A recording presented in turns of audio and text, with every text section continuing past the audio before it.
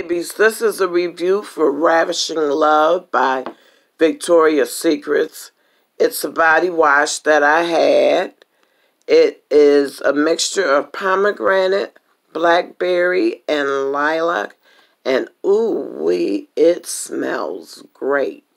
This little bottle, which is 4.2 ounces, I stretched this over two years. I used a little bit here and a little bit there. Why? Because I like to feel sexy and alluring for myself. I mean, it's nice to always get compl compliments from others that, oh, you smell so good. But I like to smell good for myself. I feel like that's my pampering that I get to do for myself. So every once in a while, when I go into Victoria's Secrets during their semi-annual sale, whether in December after Christmas or in June around the 25th, 26th. It's right around my son's birthday. His birthday is June 30th.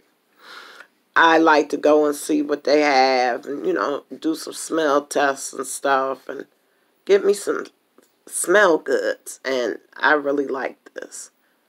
For it to be a flower-based scent, I really like it. I'm allergic to flowers, so the smell of certain flowers gets to be really, mm, it gets to be a lot for me. But um, I really like this, and it's hydrating, and it it it lathers well, and it rinses off well, and you don't need a lot, and it just smells oh so good. But it's not irritating because you know when you had that eczema, you don't want none of to send you into no flare, and this doesn't send me into a flare.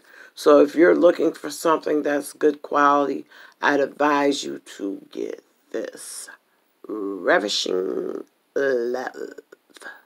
So if you've had any interactions with Ravishing Love from Victoria's Secrets, please share your opinion. Positive and negative opinions are always welcome.